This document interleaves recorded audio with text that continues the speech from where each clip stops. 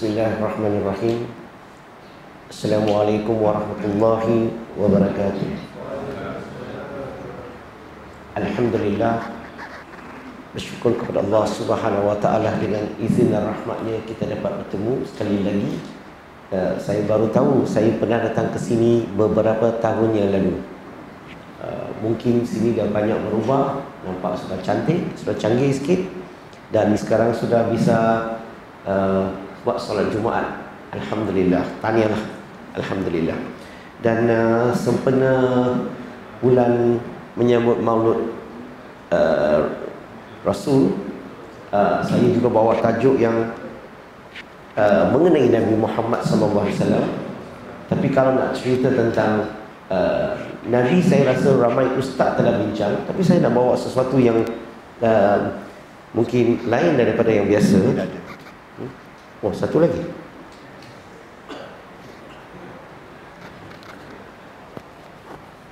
Wow. Ini macam buat rakaman kat TV. Dan uh, saya bawa tajuk iaitu tentang fitnah terhadap Nabi Muhammad sallallahu alaihi wasallam. Uh, so kita dah kenal ya. Maka saya tidak memperkenalkan diri, kita akan terus kepada perbincangan malam ini insya-Allah.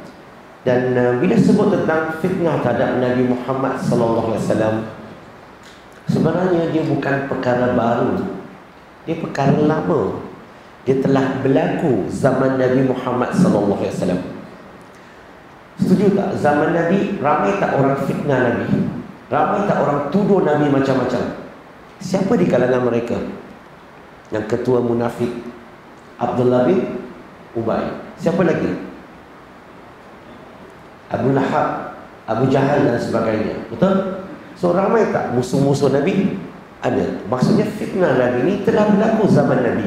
Bukan. Bukan saja hari ini. Tapi zaman Nabi telah berlaku. Dan di barat, bila berlakunya fitnah terhadap Nabi Muhammad SAW? Di barat. Dia mula pada tahun 1800. Bila kitab-kitab Islam yang dalam bahasa Arab mula diterjemahkan ke dalam bahasa English, bahasa orang putih ini, maka disitulah mulanya pada tahun 1800 hingga 1950 banyak fitnah terhadap Nabi Muhammad sallallahu alaihi wasallam. Sebab orang barat telah menulis buku terhadap agama Islam. Tidak kurang daripada 60 ribu buah buku. Dan sebahagian besar tulisan itu adalah fitnah terhadap Nabi Muhammad sallallahu alaihi wasallam hari ini zaman Nabi orang bercakap fitnah Nabi. Kemudian di barat orang mula menulis. Zaman sekarang zaman moden zaman elektronik lain sikit. Mereka siap melaburkan berjuta dolar hanya nak buat satu video. Nak bagi gambaran nak bagi persepsi masyarakat betapa kejinya Nabi Muhammad sallallahu alaihi wasallam. Kalau ada peluang kalau kalau nak tengoklah pergi YouTube aja tekan tapi tengok kita marah lah kan sebab orang fitnah Nabi tetapi bagi saya saya nak ulas apa yang mereka fitnah terhadap Nabi Muhammad sallallahu alaihi wasallam Now, ada beberapa fitnah. Salah satunya adalah pertama, mereka tuduh Nabi Muhammad sallallahu alaihi wasallam menipu para sahabat. Kalau kita masih ingat lagi, dalam satu dalam, uh, pada satu masa Nabi pernah mempunyai sembilan isteri. Kita masih ingat lagi tak? Ya. Dan kemudian Allah turunkan wahyu surah An-Nisa surah keempat ayat nombor tiga. Ingat tak ayat ini? Bahawa lelaki maksimum boleh kahwin empat. Uh, boleh ingat ayat ini? Kahwinlah wanita yang kamu sukakan dua, tiga ataupun empat. Betul? Sekiranya kamu khawatir kamu tidak dapat berlaku adil terhadap isteri-isteri kamu, maka kahwin hanya satu. Ini adalah ayat yang paling special dalam Al-Quran. Pelik ya? Orang orang bagi lain ayat. Saya kata ayat ini paling special.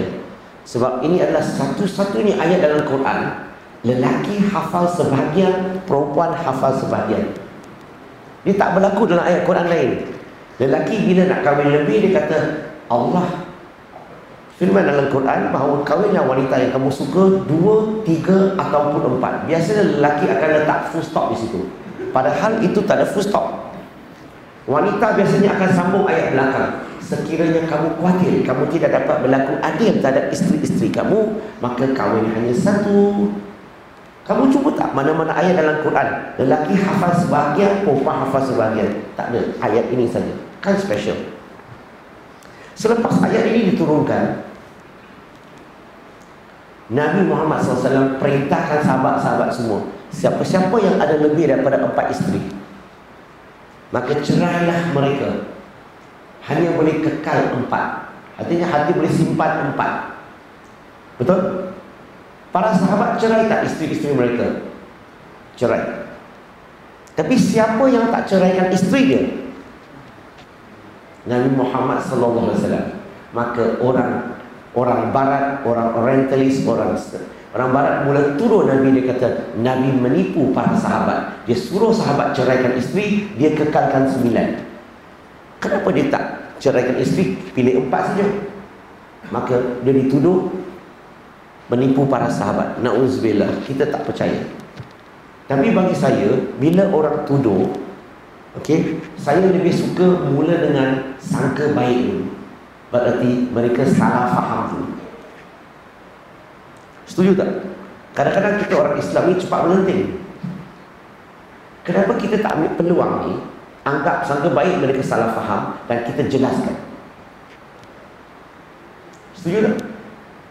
So macam mana nak jawab soalan ini kalau orang tuduh? Uh, sahabat, boleh tak itu lampu tu um, lampu kamera tu boleh adjust sikit tak?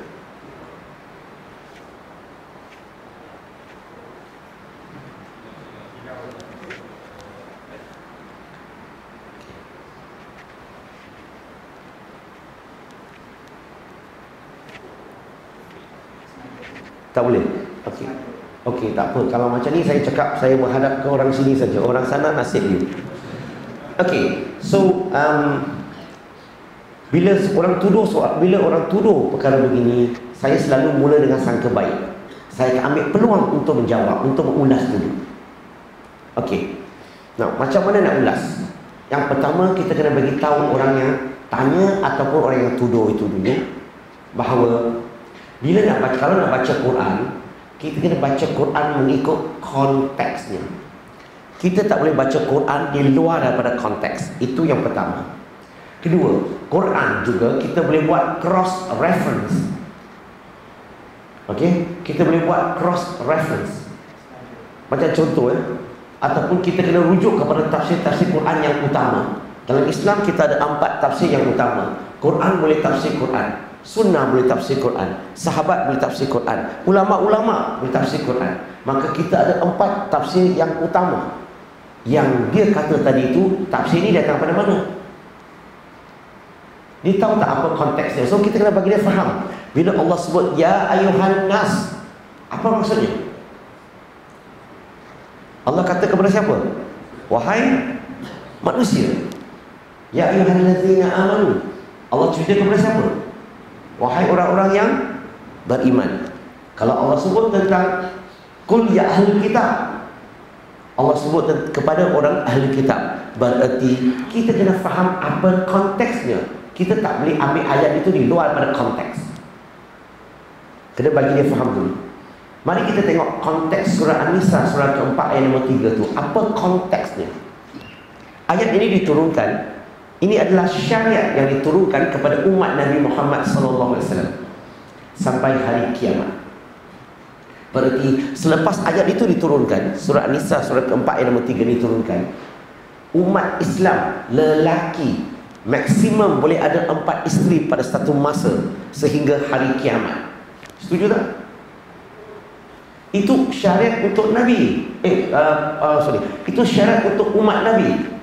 Tetapi untuk Nabi Muhammad wasallam Allah beri dia syariat lain.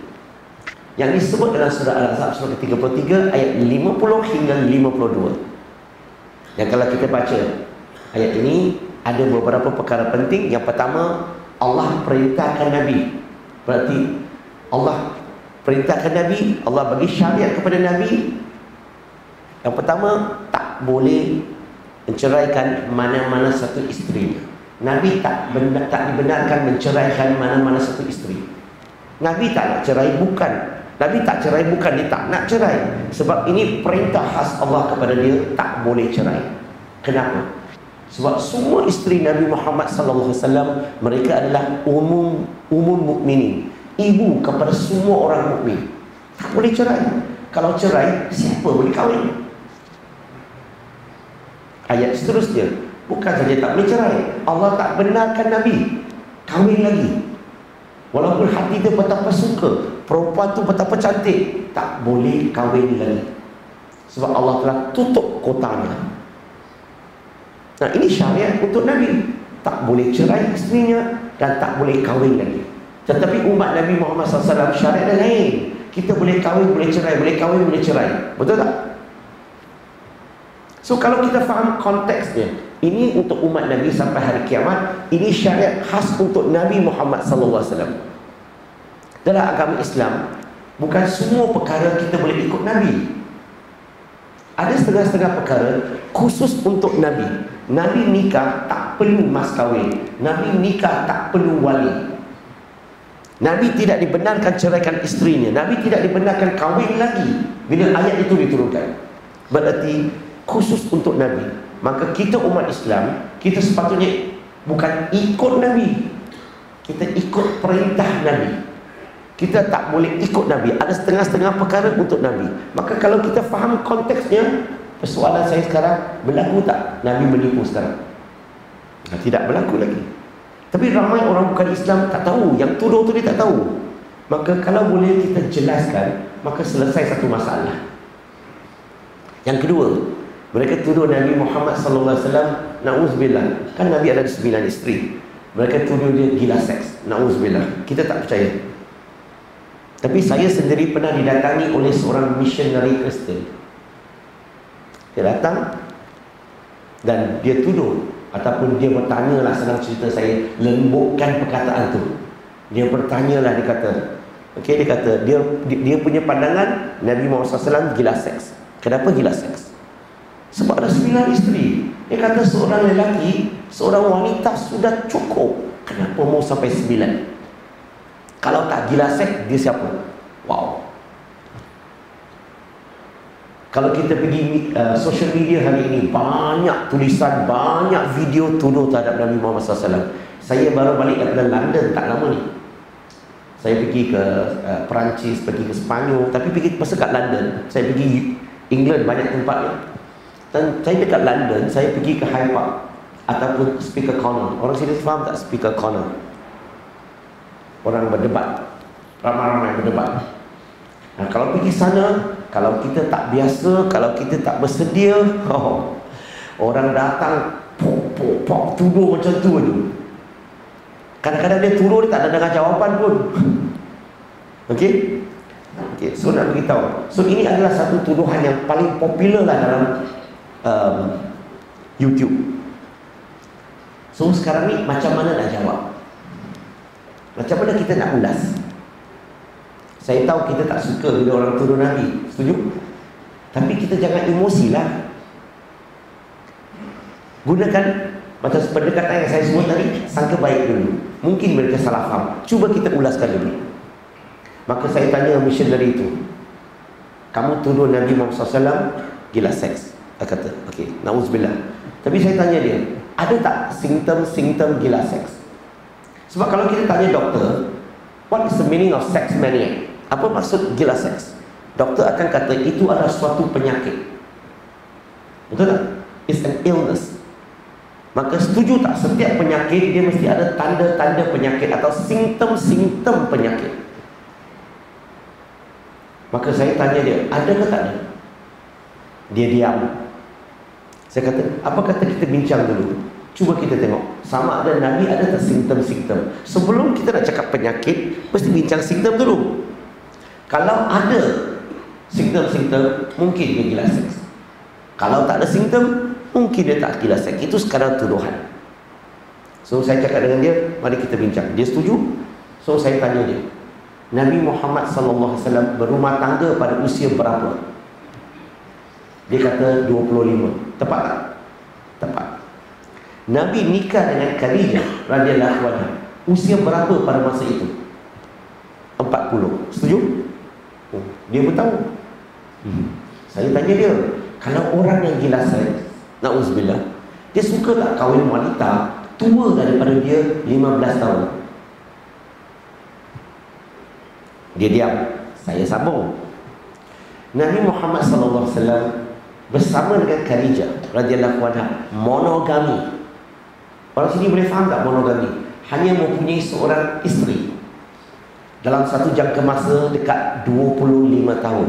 Berarti pada usia 25 dia nikah dengan Khadijah radhiyallahu anha monogami sampailah usia 50 dalam hidup Nabi sampai usia 50 hanya mempunyai seorang wanita saja dalam hidupnya Artinya sampai usia 50 Line clear Belum ada simptom-simptom Belum ada tanda-tanda Soalan ketiga saya tanya dia Dia setuju kan? Sampai 50 tak ada masalah Okey Saya tanya dia Orang yang gila seks Dia gila semasa muda ke? Gila semasa tua? Oh, orang sini tak faham Gila semasa kuat ke? Gila semasa lemah? Pun tak faham Eh, susah ni. Tak apa, pergi tanya cikgu. Kalau orang gila seks, dia mesti gila semasa dia muda, semasa dia kuat. Bukan gila semasa tua. Betul? Tapi tak apa. Dia kata mungkin tua pun boleh. No problem. Sambung. Nabi nikah dengan Khadijah. Dia berapa kali janda? Dua kali. Saya tanya dia, orang yang gila seks suka dia kahwin wanita yang dua kali janda. Sambung. Kemudian Khadijah meninggal dunia. Tahu tak dalam hidup Nabi Muhammad SAW dekat dua tahun hidup Nabi tanpa wanita. Saya nak tanya, orang yang gila seks ni boleh tak dia kemarau dua tahun? Orang sini faham tak kemarau? Faham kan? Hanya orang Melaka pengurusi masjid dia dia ni sama dengan saya satu uh, daripada Melaka ni. So bahasa kami cakap ni mungkin dia faham je pun. Berarti sampai sekarang ada tak tanda-tanda gila seks? Usia awal 50-an belum ada tanda-tanda gila seks. Kemudian Nabi nikah dua isterinya anak sahabat para sahabat anak perempuan para sahabat iaitu Sayyidina Abu Bakar dengan Sayyidina Umar radhiyallahu anhu. Dan selainnya isteri-isteri yang Nabi nikahi kebanyakan mereka adalah janda-janda. Setuju tak? Saya tanya dia lagi you rasa-rasa orang gila seks ni dia mau kahwin tak? Dia tak faham. Saya tanya dia orang gila seks ni bisa gila kahwin ke gila seks Faham ni? Tapi ni, Nabi nikah tak setiap isterinya secara sah. Bukan saja dengan Allah sah, dengan masyarakat pun diterima. Bukan saja itu. Orang yang gila seks dia, dia nak tak bertanggungjawab.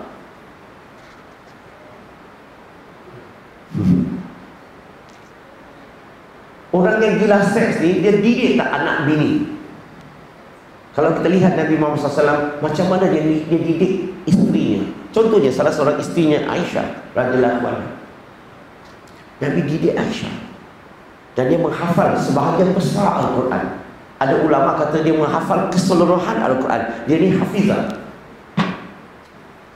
Saya nak tanya Adakah kerja orang gila seks ajar bini hafal Quran? Halo? Bukan saja itu Aisyah radhiyallahu anha meriwayatkan tidak kurang daripada 2210 hadis. Dia jadi penasihat kepada empat khalifah Rashidin. Dia juga mengajar, melatih tidak kurang daripada 88 ulama. Dan pada masa yang sama, dia juga pakar dalam perubatan dan dia juga pakar dalam matematik. Saya cakap perubatan matematik ni boleh faham ke? Apa maksud perubatan? Sebab setiap kali Nabi Muhammad SAW bila mengubati orang cara perbuatan Islam, Aisyah radhiyallahu anha akan menghafal sebahagian formula. Maka dia mahir tak sekarang tentang perbuatan Islam? pada masa yang sama juga dia pakar dalam matematik berarti dia juga salah seorang rujukan penasihat kepada sahabat-sahabat mengenai isu pembahagian harta pusaka orang yang tak mahir kira-kira matematik tak mungkinlah kita boleh jadi penasihat untuk pembahagian harta pusaka sebab bab ini bukan bab yang mudah Tahu tak? Belajar sertifikat tak ada belajar bidang ni. Diploma tu tak belajar bidang ni. Hanya advance diploma baru ada belajar tentang pembahagian harta pusaka. Berarti orang yang nak tahu subjek ini, dia memang mahir tentang kira-kira matematik. Saya nak tanya, adakah ini kerja-kerja orang gila saya buat? Berarti sampai sekarang, langsung tak ada tanda-tanda gila seks. Itu saya tak mau cerita lah janda-janda semua ni. Banyak lagi kan? So saya tanya dia, sampai sekarang kita bincang, ada tak tanda-tanda? Dia jawab apa?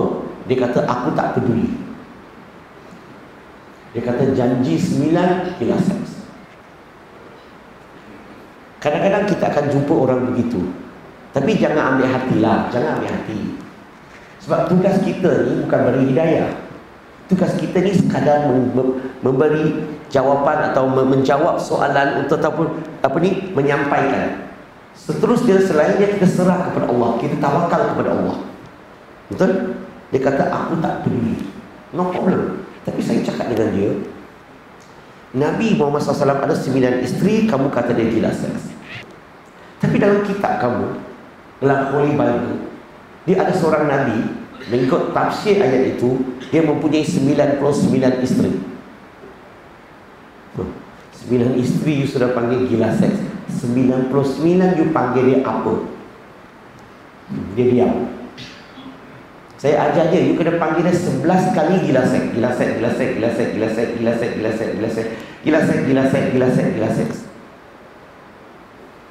Dan saya cakap dengan dia, dalam kitab kamu sekali lagi Sulaiman alaihissalam ada 700 isteri 300 gondek Keseluruh, keseluruhannya dia mempunyai 1000 isteri 9 isteri sudah tuduh gila seks 1000 dia kena panggil outra lagi apa lagi? Dia tak tahu. Kalau saya ajar dia. You kena buat CD rosak. Tahu CD rosak tak?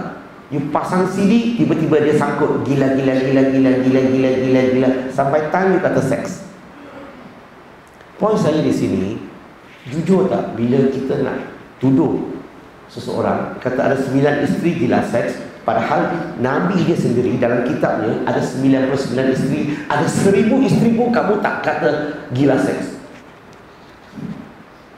Tapi saya cakap dengan dia, walaupun saya bukan Kristian, saya ini Islam, Tetap saya tak percaya Daud AS, Sulaiman AS Bila saya, saya tak percaya Kenapa? So zaman mereka Lelaki boleh kahwin seberapa ramai wanita yang dia suka Yang tak ada had Syariat zaman mereka Lelaki boleh kahwin seberapa ramai Yang dia suka Tak ada limit Macam infinity Tapi umat Nabi Muhammad SAW Maksimum empat Nah, saya akan jawab begini apa pandangan kamu kalau kita ulas perlahan-lahan? Yang penting langsung tak ada tanda-tanda. Kalau kamu percaya Nabi Muhammad SAW jelaskan itu sekadar kepercayaan kamu, itu sekadar tuduhan kamu. Tak kisah. Kita tak ada masalah. Yang penting kita mengulas dengan cara yang baik. Selainnya, kita doakan semoga Allah beri hidayah. Boleh sambung? Yang salah satu lagi tuduhan yang sangat popular. Kalau dekat speaker corner memang hari-hari inilah orang tuduh. Dia kata, your prophet is a pedophile atau pedophile. Lelaki tua kahwin suka kepada kanak-kanak. Dan tuduhan ini untuk umat Islam satu dunia termasuk ulama-ulama mempunyai masalah untuk menjawab soalan ini. Dengan baik, dengan meyakinkan. Dalam satu jangka masa lama Ulama-ulama rasa amat susah Nak justify Soalan ini. Sebenarnya nak jawab soalan ini Dia kena ada syarat Kebanyakannya orang nak jawab Dia tak bagi syarat Soalan ini mesti mau ada satu syarat. Tanpa bincang syarat ini Tak perlu jawab soalan itu. Apa syaratnya? Syaratnya begini. Kita tak boleh ambil Apa yang berlaku 1400 tahun yang lalu. Peristiwa yang berlaku 1400 years ago. Dan kita dinilai mengikut keadaan kita sekarang tak boleh. Nak banding keadaan dulu dengan keadaan dulu, keadaan sekarang dengan keadaan sekarang. Aku yang dulu Halo. Oh, si orang sini tak tahu ya, tak apa. So, apa maksud saya? Tak boleh ambil keadaan dulu dinilai mengikut keadaan sekarang. Sebab dulu-dulu perkahwinan bukan urusan kerajaan dia bukan urusan agama tetapi dia urusan keluarga. Faham tak? Dulu-dulu dulu-dulu marriage perkahwinan adalah urusan mak bapak punya keputusan. Bukan agama bukan kerajaan. Hari ini kita punya pernikahan tu kerajaan mengikut masalah letak had kepada usia tertentu untuk nikah lain daripada dulu. Dulu mak bapak buat keputusan. Apa bukti? Ni negeri Cina kalau saya dengan pengurusi uh, masjid ini surau eh, surau al-ikhlas ini kita kawan baik. Nak lebih baik lagi. Apa kita buat? Isteri dia mengandung seorang anak lelaki. Isteri saya mengandung seorang anak perempuan. Masyarakat Cina kita sign untuk mereka nikah semasa dalam kandungan lagi. Sebab mak bapak buat keputusan dulu-dulu sekarang tidak, betul tak? Itu yang paling penting. Dan kalau kita lihat bila Aisyah radhiyallahu anha nikah dengan Nabi Muhammad SAW dapat restu tak daripada bapaknya? Dapat ke tak dapat? Maksudnya keluarga Sayyidina Abu Bakar radhiyallahu anhu tiada masalah menikahkan anak perempuan kepada Nabi Muhammad SAW. Sebenarnya kan ini adalah suatu penghormatan kepada keluarga Sayyidina Abu Bakar. Sebab dapat nikah anak perempuannya dengan pemerintah pada masa itu. Dapat nikah anak perempuan kepada Rasulullah sallallahu alaihi wasallam. So, keluarga no problem. Soalan kedua. Masyarakat Arab pada masa itu selepas mereka nikah, adakah pernikahan itu jadi satu isu di tanah Arab? Ada tak orang Arab bantah, komplain? Ada? Tak ada. Maksudnya apa? Orang Arab pada masa itu boleh terima pernikahan itu. Sambung. Dan yang ketiga tu paling penting lah. Ingat lagi tak mula-mula saya sebut tadi? Nabi kan ada banyak musuh. Musuh-musuh. Abdullah bin Ubay Abu Lahab Abu Jahal. Yang yang musuh-musuh ni sentiasa tunggu cari peluang untuk nak jatuhkan Nabi. Saya nak tanya musuh-musuh ni buat apa mereka komplain tak? Mereka bantah tak? Musuh pun tak bantah. Saya ulang sekali. Keluarga tak ada masalah. Masyarakat Arab tak ada masalah. Musuh dia pun tak ada masalah. Lu apa masalah? What is your problem now? Berarti perkahwinan itu diterima oleh tanah Arab. Kalau tidak, musuh sudah attack lah. Betul ke tak betul? Dan bukan Islam salah faham kat mana Kadang-kadang mereka tuduh Kita tak tahu dia salah faham kat mana Selepas Nabi Muhammad sallallahu alaihi wasallam nikah dengan Aisyah radhiyallahu anha, mereka tidak duduk bersama. Aisyah masih kecil lagi, duduk dengan bapaknya. Sehinggalah di akhir balik. Usia dia 9 tahun lebih, dekat 10 tahun. Untuk pengetahuan muslimin muslimat di sini, saya tahu ada kajian yang lain yang contemporary ulama hari ini di Pakistan, di India, di tanah Arab, di Eropah sekarang banyak bincang tentang usia Aisyah. Nabi nikah dengan Aisyah radhiyallahu anha. Lebih tepat 16 tahun duduk bersama lebih kurang 19 tahun. Saya tidak akan bincang itu sebab orang tuduh ini sebab disebut dalam Sahih Bukhari. Nabi nikah dengan Aisyah radhiyallahu anha usia 6 tahun. So, selepas nikah mereka tidak duduk bersama. Aisyah tetap duduk dengan bapaknya. Sehinggalah dia akhir balik Dekat 9 tahun lebih, dekat 10 tahun. Barulah Nabi datang jumpa dia. Nabi tanya kat dia, adakah kamu sudah bersedia nak duduk bersama? Dan baginda sambung lagi, sekiranya belum, no problem. Bila saya kata no problem, ni tak ada masalah ni. Jangan cakap, saya kata Nabi cakap apa putih tau. I'm just explaining. Video ni sangat bahaya. Lin cakap, Nabi cakap putih. Alah, jadi masalah. Fitnah Nabi lagi kan? Maksudnya Nabi kata tak ada masalah duduk dengan bapa kamu sehingga kamu bersedia. Sebenarnya pernikahan Nabi Muhammad sallallahu alaihi wasallam dengan Aisyah radhiyallahu anha memberi satu pengajaran yang sangat besar kepada manusia.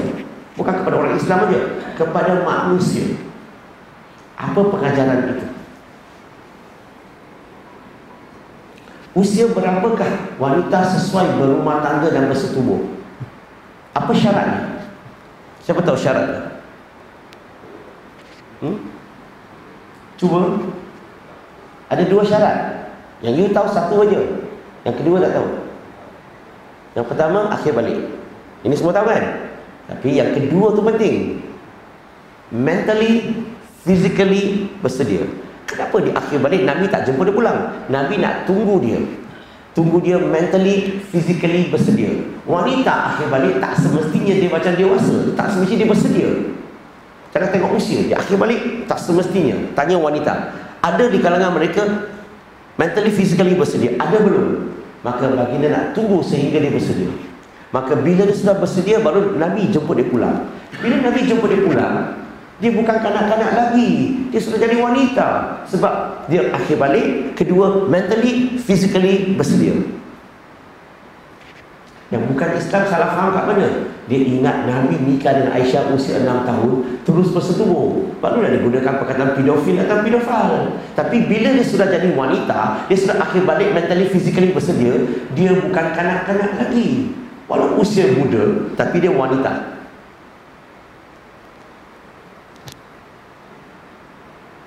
Sekarang ni saya nak tanya Pedofil-pedofil kat mana? Tuduhan kan? Kalaulah berlaku na'uzubillah, na'uzubillah. Kalau kita tanya pakar-pakar, doktor yang dalam bidang ni, kalau seorang kanak-kanak wanita 6 tahun ada hubungan, rasa-rasa budak tu boleh membesar dengan baik Rasa pemikiran dia keliru tak? Trauma tak? Rasa-rasa. Uh, kita berhenti bagi laluan untuk azan dulu dan kita akan sambung sikit lagi insyaAllah.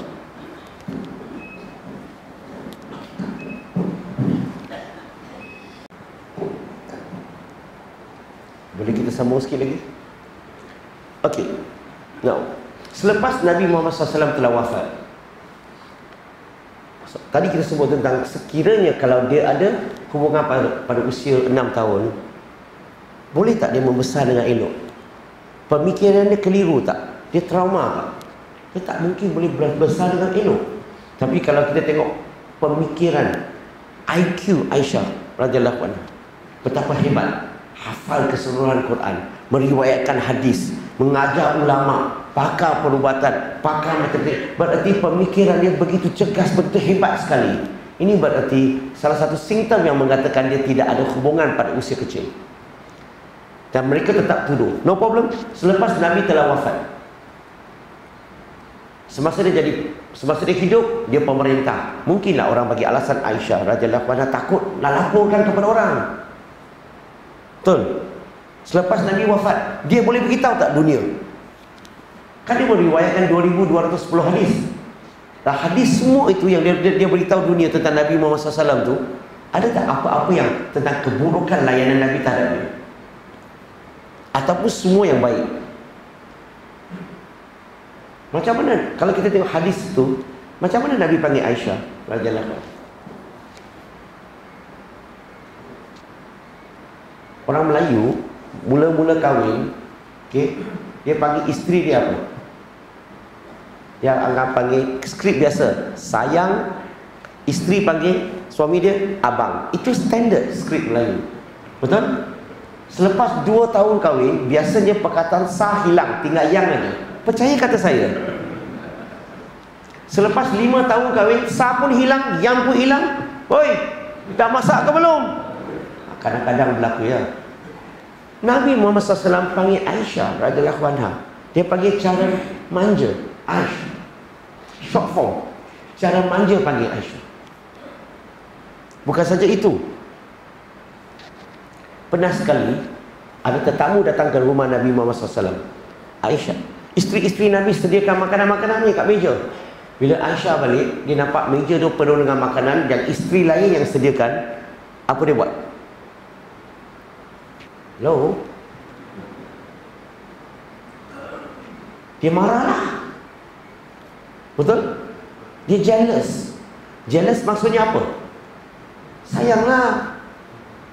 Saya tengok pasangan lelaki wanita jalan di luar, saya tak ada jealous. Kita kenapa? Oh, tak ada sayang pun. Betul tak? Jealous maksudnya sayang. Bukan saja itu. Mereka kadang-kadang ada lumba lari. Bila Nabi muda, Nabi menang. Bila Nabi tua sikit, Nabi kalah. Kadang-kadang Nabi sengaja kalah. Macam suami lah. Kadang-kadang kita sengaja kalah sikit lah kasih bini. Jangan asyik nak menang aja. Ambil hati tak boleh kah? Kalau dia masak tak sedap, masin sangat, apa kita buat? Oh, masakan hari ini bagus. Kalau tambah sikit gula, lagi bagus. Jangan cakap masin. Bukan saja itu. Artinya hubungan mereka begitu rapat, begitu mesra, begitu lovely, begitu romantik. Ada satu peristiwa, Nabi bawa Aisyah pergi ke bandar. Saya tak tahu bandar dulu macam mana lah. Pekan ke, bandar ke. Ada ada program di bandar. Maka Aisyah radhiyallahu anha tak cukup tinggi. Nak tengok ni cukup tinggi. So tak dapat lihat pemandangan dengan elok. Apa Nabi buat? Ada Nabi dokong dia. Ada ada yang kata dukung macam ni, ada yang kata duduk atas bahunya. Abang-abang di sini sudah kahwin lama kan? Pernah tak kamu dukung isteri kamu? Cakap. Kalau tak pernah, malam ni balik cuba.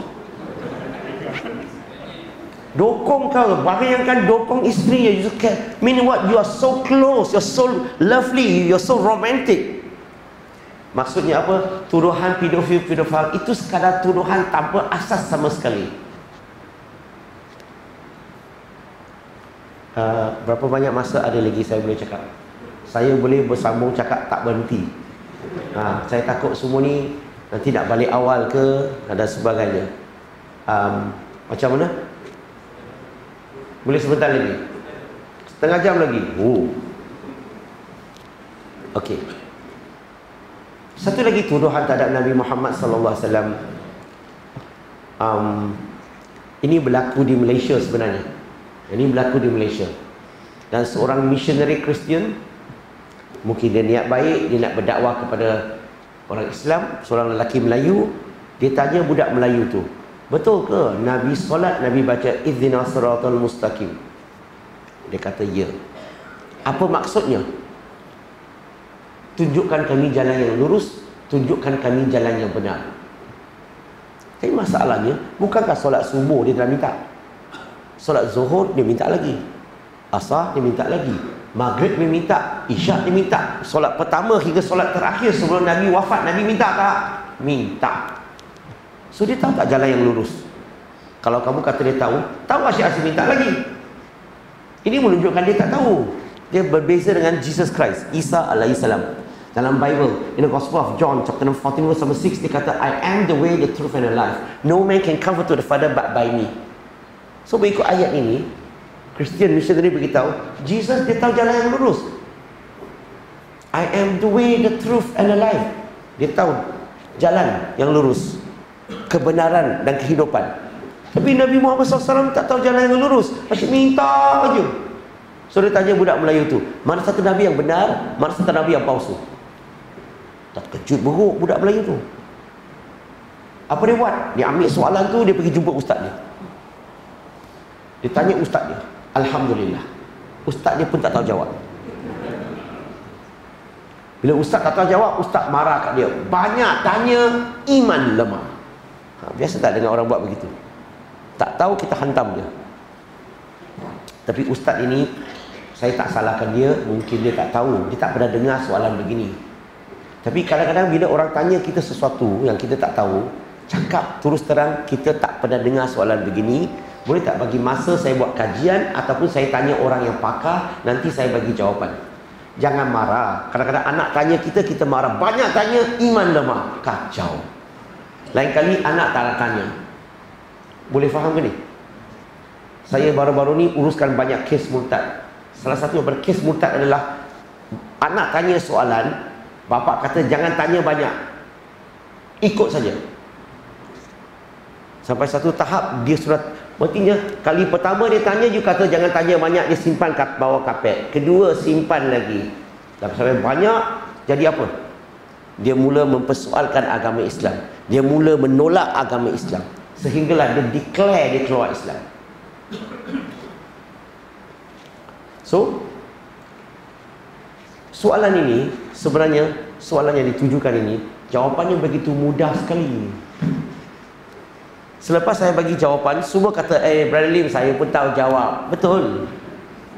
Tapi sebelum bagi jawapan tu macam mana?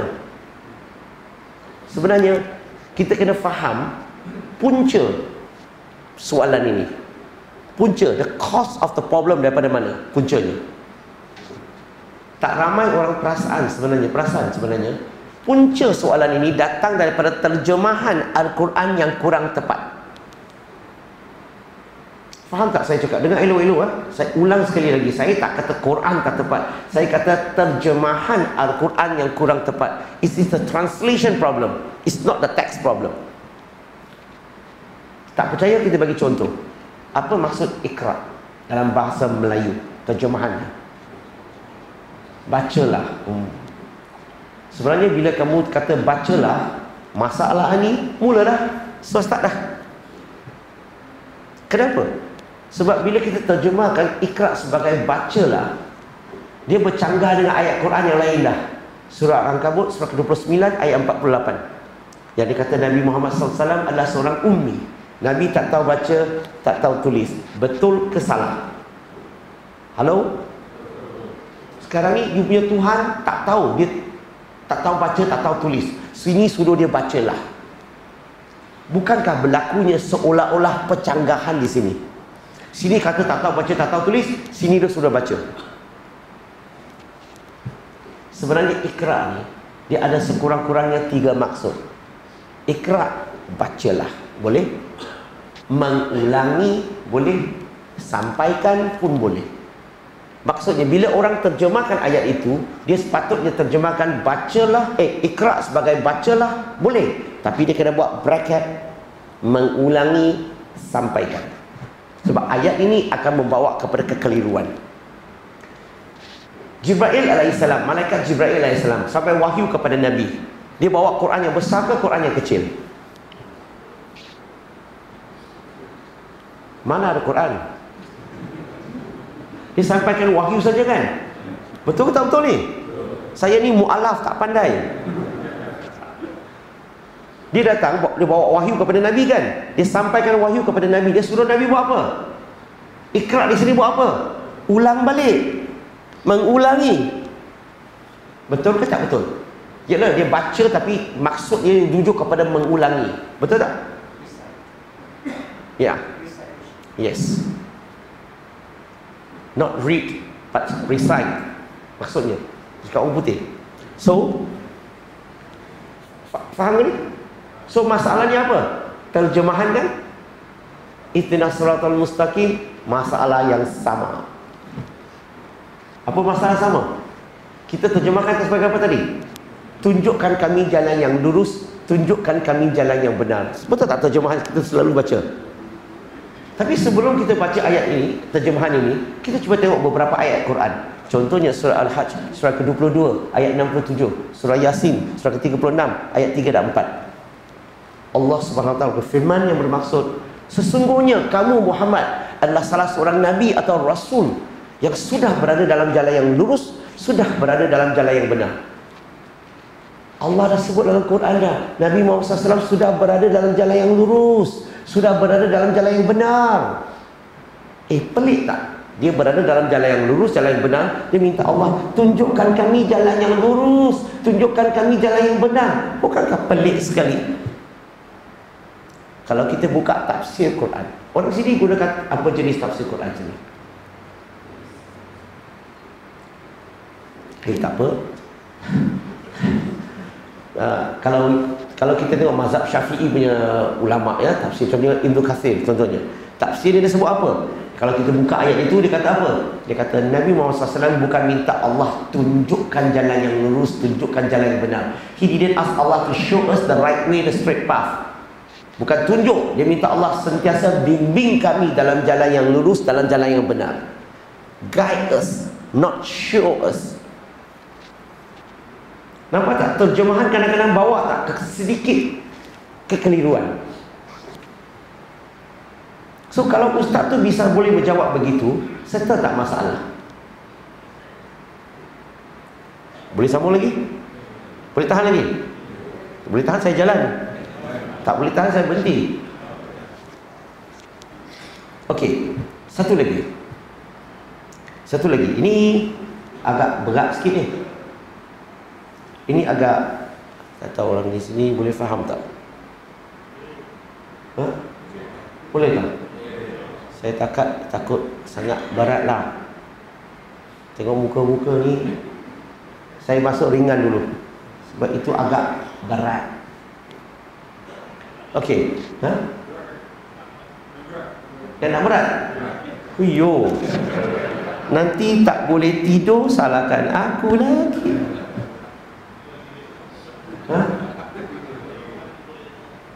Tidur ni. Okey okey, kita bersambung lagi, sambung lagi. Salah satunya yang contemporary tuduhan baru-baru ni kalau kita pergi Facebook adalah seorang lelaki tua dengan seorang wanita tua. Artinya kemungkinan mereka ni suami isteri, Kristian. Dan mereka mempunyai niat baik. Mereka nak berdakwah kepada orang dalam masjid. Okey, dia nak berdakwah kepada siapa? Orang dalam masjid. So mereka bawa loudspeaker, mic lah. Loudspeaker diri kat luar masjid. Mungkin di Amerika kot. So, apa mereka buat adalah lelaki itu tanya soalan, perempuan itu jawab. Maka lelaki pun tanya. The name Muhammad, ya, Nabi Muhammad SAW namanya, is mentioned in the Quran how many times? Nama Muhammad SAW disebut dalam Quran berapa kali? Perempuan itu jawab, four times. Ditanya lagi, Jesus Christ, his name mentioned in the Quran, how many times? Perempuan jawab, 25 times. Apa dia buat ni? Dia nak bagi tahu orang dalam masjid, bacalah Quran. Muhammad sallallahu alaihi wasallam nama sebut empat kali saja Muhammad. Nabi Isa alaihissalam Jesus Christ sebut 25 kali. Siapa lebih hebat? Alamak. Macam ni pun boleh banding. Hmm. Yang dia tak faham adalah keseluruhan Quran Allah bercakap dengan siapa? Nabi Muhammad sallallahu alaihi wasallam. So bila cakap dengan Nabi Muhammad sallallahu alaihi wasallam tak perlu sebut nama. Bila sebut dia orang yang ketiga baru nama dia disebut. Kalau keseluruhan Quran Allah cakap kepada Nabi Muhammad sallallahu alaihi wasallam saya nak tanya siapa lebih hebat? Perkataan kul sebut dalam Quran berapa kali? 332 kali. Apa maksud kun? Katakanlah wahai Muhammad. Bukankah Allah cakap dengan Muhammad SAW? Dia kata itu tak kira. Sebab kamu bubur. Katakanlah Nabi Muhammad dia kata, you tambah. Itu asal Quran tak ada. Betul juga ya. So dia nak banding. Nama banyak sebut dia lebih hebat. Mari kita try. Memang betul. Muhammad sallallahu alaihi wasallam nama empat kali. Ahmad sekali, semua lima kali. Jesus Christ, Isa alaihissalam sebut nama dia dalam Quran 25 kali. Itu memang betul betul. Tapi dia tak tahu. Nabi Nur alaihissalam nama dia sebut 47 kali. Sekarang ni saya tanya dia, betul ke Nabi Nur lebih hebat daripada Nabi Isa alaihissalam? Ha, dia dia ada masalah dah sekarang. Ibrahim alaihissalam nama disebut 74 kali. Nabi Musa AS nama disebut 177 kali Siapa lebih hebat sekarang? Dia terdiamlah Syaitan Syaitan Syaitan nama sebut dalam Quran berapa kali? 80 kali Adakah syaitan lebih hebat daripada Nabi Isa AS? Bukan banding begitu. Boleh faham tak? Kalau banding begitu, you're telling me that Jesus is God, but syaitan is greater than God. Faham ke ni? Pelik. Mereka percaya Nabi Isa AS itu Tuhan. Dia percaya Isa AS itu Tuhan. Tapi kalau dia percaya Tuhan, kenapa banding dengan Nabi Muhammad SAW? Nabi Muhammad SAW adalah manusia. Mana ada orang banding Tuhan dengan manusia?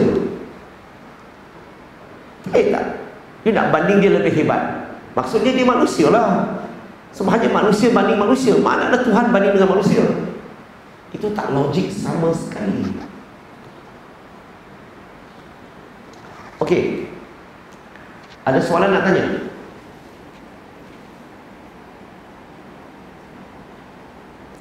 Hello. Ada ke tak ada? Tak ada?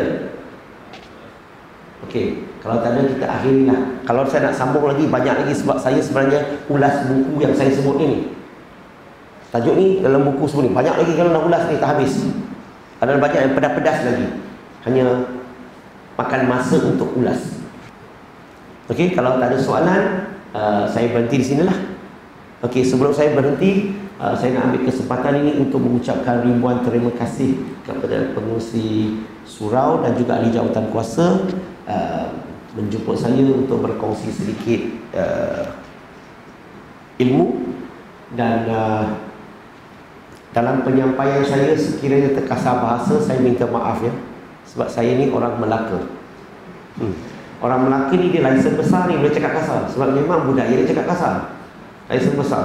Tapi uh, satu dua pengumuman di sini adalah uh, ada beberapa buku tulisan saya. Kalau siapa-siapa yang minat nak tengok boleh tengok di luar selepas solat isyak nanti. Dan satu lagi adalah keaslian Al-Quran. Macam mana nak buktikan Al-Quran tu kalam Allah? Kalau ada peluang lain kali minta saya cakap tajuk ni. Tapi kena satu setengah jam sekurang-kurangnya. Sebab agak besar uh, perbincangan ini. Kalau ada whiteboard itu lagi elok. Dan juga satu lagi tentang jawapan terhadap Nabi Isa uh, membantah ataupun uh, menjawab membantah ketuanan Nabi Isa AS so ada ada di di luar. Dan last satu um, kami ada bawa satu tabung khas untuk kami baru buka satu center di Pulau Pinang. Uh, 26 hari bulan Oktober yang lalu terus uh, bulan lalu. Dan uh, Alhamdulillah macam-macam program telah di, di, di, di, dijalankan. Dia seperti apa yang kami buat di Kuala Lumpur Duplicate di Pulau Pinang Dan Alhamdulillah Baru hari itu uh, 26 um, Berapa hari yang lalu? Beberapa uh, Jumaat Hari ini Ahad kan? Dua tiga hari yang lalu Semasa saya bagi uh, kuliah Tentang New Muslim Class Alhamdulillah Kita dapat seorang uh, seorang mengucap syahadah. Allah beri hidayah kepada mereka Alhamdulillah. Dan uh, dan center tu dah siap tapi kami masih lagi ada sedikit outstanding tentang bayaran kepada kontraktor tentang uh, uh, uh, uh, renovation dan sebagainya kalau siapa-siapa yang ingin nak bayar zakat ingin nak infak kepada uh, jalan Allah ada tabung di luar silakan okey kalau tak ada don't worry buat doa kepada kami semoga insyaAllah dakwah dapat jalan dengan elok insyaAllah Soalan? Alamak. Ya. Yeah.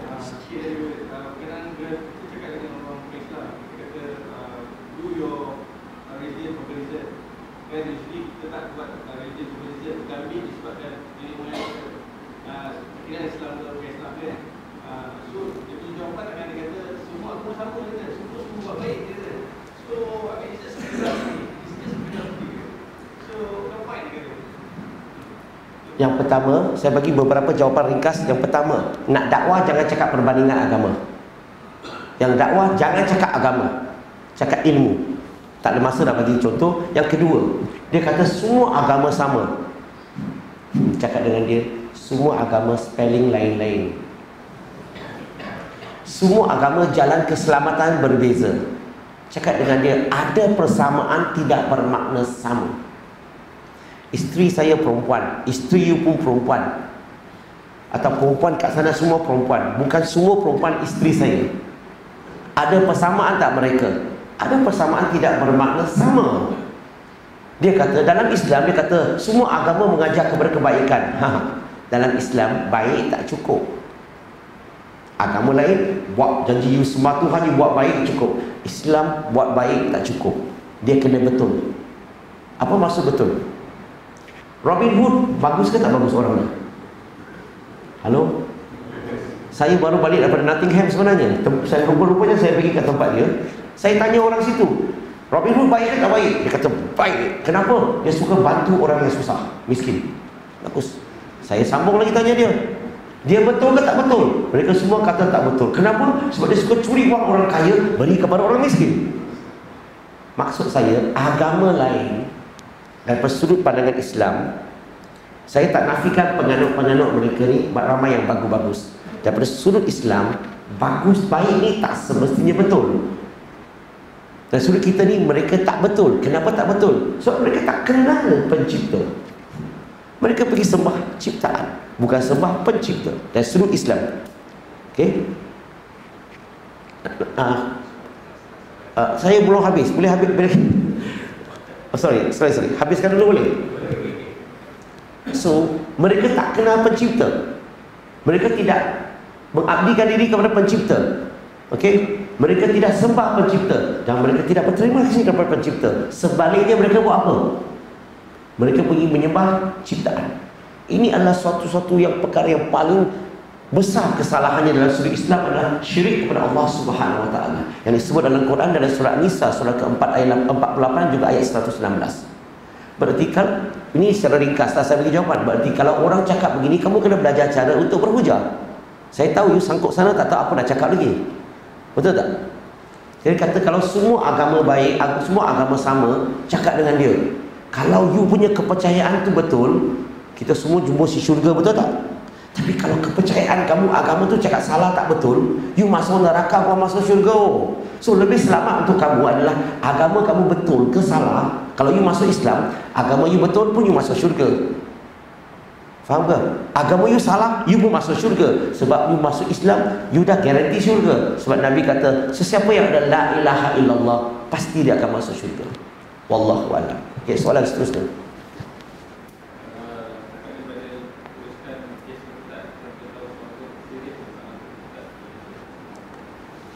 dia bukan serius sangat hanya kita, kita, cara kita mendidik anak-anak kita tentang Islam kurang baik. Dan kita kurang fokus didikan kita kepada mem- memahami Islam. Okey macam inilah. Kebanyakannya ini sangat panjang menghujah ni. Kebanyakan kita ni kita semua ni bila kita terangkan Islam kepada anak kita kita bawa anak kita kepada rumah Islam ke? Kita bawa kepada bilik Islam? Nah, saya tahu you susah nak faham. Rumah Islam maksudnya ahli sunnah wa jamaah. Kita terangkan ahli sunnah wa jamaah ke? Atau kita terangkan kepada dia bilik kita? Satu mazhab pandangan satu mazhab satu manhaj satu pandangan. Satu mazhab. Kita kenakan anak kita Ahli sunnah wal jamaah ke? Mazhab. Satu mazhab. Maksudnya kita bukan bawa mereka kepada rumah. Kita bawa kepada bilik. Maka anak-anak kita akan mula keliru bila nampak mazhab-mazhab yang lain dan sebagainya. Itu satu. Yang kedua, kita tak fokus kepada akidah. Mungkin saya bagi contoh yang lebih ringkas. Kita ingat lagi tak Quran diturunkan kepada Nabi Muhammad sallallahu alaihi wasallam mula-mula kat mana? Bani. Oh, bukan ya. Quran turun kat mana mula-mula? Di Mekah. Berapa tahun? 13 tahun. Kemudian Quran turun di Madinah. Berapa tahun? Dekat 10 tahun. Ada dua peringkat kan? Ialah keseluruhannya 22 lebih tahun lah. Tapi lebih kurang 23 tahun. Quran diturunkan secara berperingkat-peringkat. Peringkat. Quran mula-mula turun 13 tahun di Mekah ayat-ayat yang diturunkan majoriti ayat berbentuk apa? Akidah ke fiqh? Akidah. Kemudian para sahabat akidah mantap mereka berhijrah ke Madinah barulah Allah turunkan ayat-ayat hukum hakam fiqh sikit sikit. Kenapa begitu? Sebab mula-mula 13 tahun Allah hanya buat apa? Bina akidah. Betul? Begini. Kalau kita nak bina satu bangunan tinggi 10 tingkat Okey, satu hotel lah 10 tingkat. Kita bina dinding dulu ke ceiling dulu? Halo? Dinding ke ceiling? Tiang lah. Ada tak bangunan tinggi tak bina tiang punya? Ada? Bina tiang lah paling banyak makan masa. Setuju tak? Tiang dah siap, dinding, batu bata, kacang putih lah. Betul? 13 tahun tu lah Allah bina tiang saja. Saya nak tanya berapa banyak akidah yang kelas yang kamu buat dengan anak-anak kamu? Bila akidah dah mantap, berhijrah ke Madinah, barulah Allah turunkan ayat-ayat hukum hakam sikit-sikit. Kita cakap dengan anak-anak kita banyak hukum, hukum, hukum, hukum. Kita mula dengan Madinah dulu, bukan Mekah. Kita mula dengan batu bata dulu, bukan tiang. Itu yang masalah. Kalau kita tengok, kalau kita ingat lagi, bila Quran diturunkan semula-mula di Mekah 13 tahun, ada tak pengharaman Arab? Tak ada. 13 tahun Allah tidak mengharamkan Arab. Nabi tidak mengharamkan Arab. Para sahabat minum Arab. Setuju tak? Kemudian mereka berhijrah ke Madinah tahun ke-14, minum lagi, 15, minum lagi, 16, minum lagi. Tahun ke-17 bila Allah turunkan surah Al-Maidah surah ke-5 ayat 70. Surah sorry, surah Al-Maidah ayat 90 ayat diturunkan. Okey? Ayat itu Allah mengharamkan Arab, barulah para sahabat berhenti secara total minum Arab. Hukum hakam ni Allah sebut tentang Arab 17 tahun kemudian.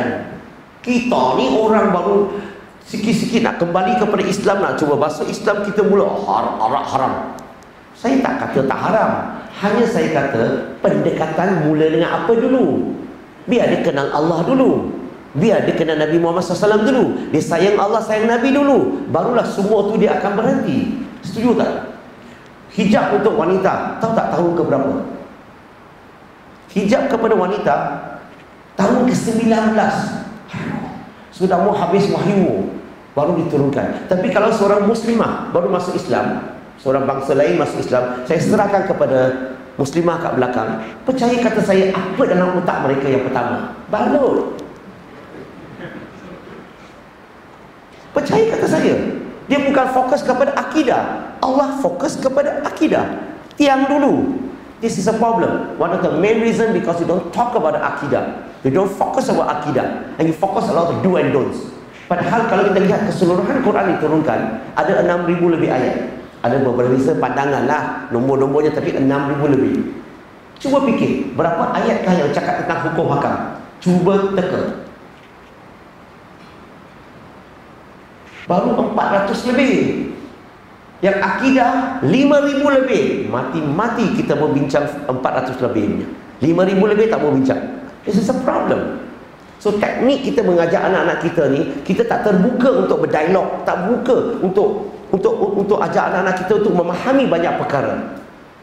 So itulah masalah. Mungkin tak ada masa saya nak ulas. Kalau cakap panjang lagi. Ini sedikit uh, jawapan saya. Wallahu alam. Harap-harap boleh diterima.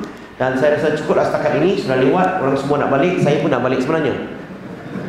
So, itu saja perkongsian. Terima kasih. Assalamualaikum